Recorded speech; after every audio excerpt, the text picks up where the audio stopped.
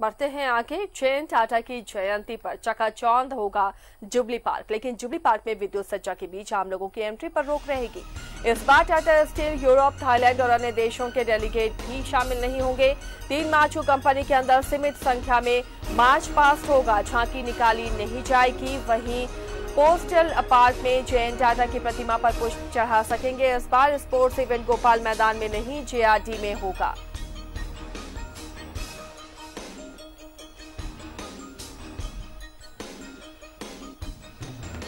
सहयोगी प्रभात जमशेदपुर से जुड़े हुए हमारे साथ प्रभात का रुख करते हैं। प्रभात, हर साल तीन मार्च का इंतज़ार होता है लौह नगरी वासियों को भी और पूरे राज्य की जनता को कि कैसे ये मुख्य कार्यक्रम होगा, किस तरह की सजावट होगी। इस बार कोरोना की वजह से फीका कार्यक्रम रहेगा।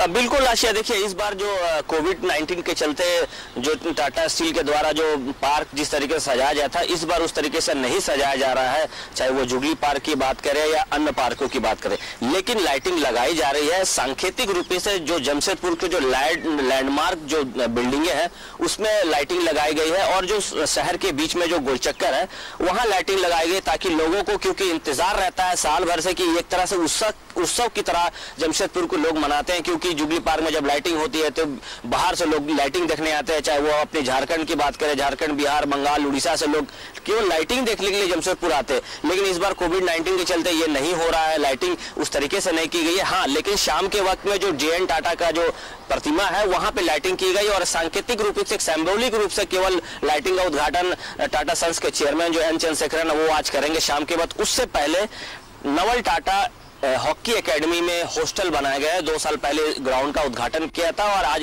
हॉस्टल का उद्घाटन ढाई बजे एन चंद्रशेखरन करेंगे।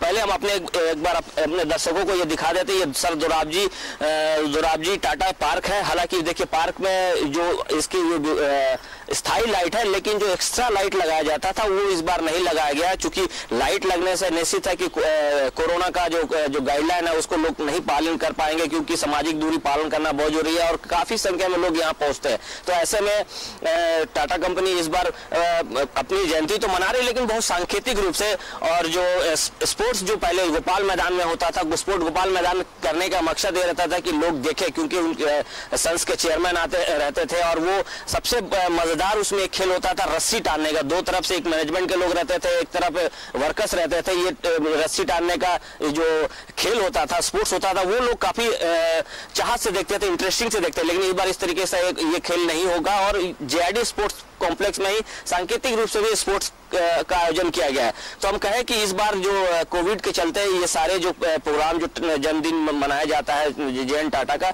वो सांकेतिक रूप से हो रहा है लेकिन कंपनी परिसर में जो झांकियाँ निकल, निकलती थी वो नहीं निकलेगी। कल सुबह के वक्त में एन चेकरन जाके जे एन टाटा को श्रद्धांजलि देंगे। और जो जितने भी कंपनीज़ के एम्प्लॉय है, वो आप श्रद्धांजलि दे सकते हैं। लेकिन जो आम लोगों को की बैठने की व्यवस्था की जाती थी, आम लोग रहते थे झांकियाँ देखते थे, एक उत्सव की तरह मनाते थे, वो इस बार नज़र नहीं आएगा। जी, आशा।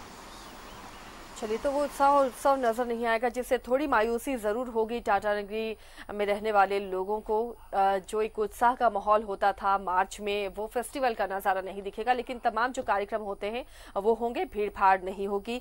जुबली पार्क, चूँकि एक माह से सरकार ने आदेश दे दिया है कि तमाम पार्क खुल सकते हैं, लेकिन इस बार जुबली पार्क को बंद रखा जाएगा। इस समारोह के दौरान प्रभात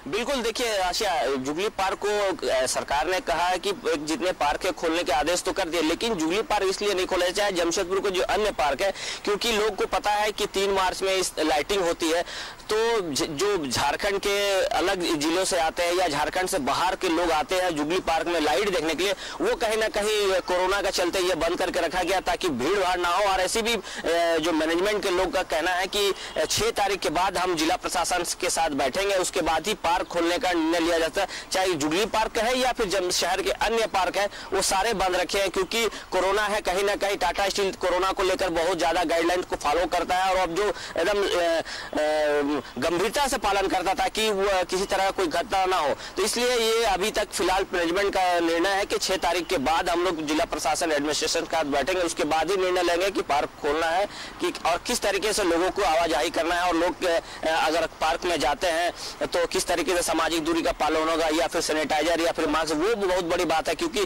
जो कोरोना का फिर से दूसरा दौर शुरू हो रहा है आशिया। तो इसमें कहीं ना कहीं टाटा कंपनी भी थोड़ी प्रिकॉशन ले रही है ताकि ये बीमारी से लोगों को अपने शहर के, अपने समाज को, अपने व्यक्ति को बचाया जा सके। जी। चलिए, शुक्रिया प्रभात इस तमाम जानकारी के लिए। तो फ़िलहाल इस बार कोरोना की वजह से ये मुख्य समारोह थोड़ा फीका ज़रूर रहेगा, लेकिन तमाम कार्यक्रम होंगे। उसी तरह से जुबली पार्क में विद्युत सज्जा होगी, लेकिन आम लोगों के लिए एंट्री बंद रहेगी। इस बार टाटा स्टील यूरोप, थाईलैंड और अन्य देशों के डेलीगेट्स भी नहीं पहुँचेंगे। कंपनी के अंदर सीमित संख्या में ही मार्च पास्ट में लोग भाग लेंगे। कोई झांकियाँ नहीं निकाली जाएँगी। पोस्टल पार्क में जैन टाटा की प्रतिमा पर पुष्प चढ़ाया जाएगा। गोपाल मैदान में इस बार स्पोर्ट्स इवेंट नहीं, बल्कि जेआरडी में होंगे।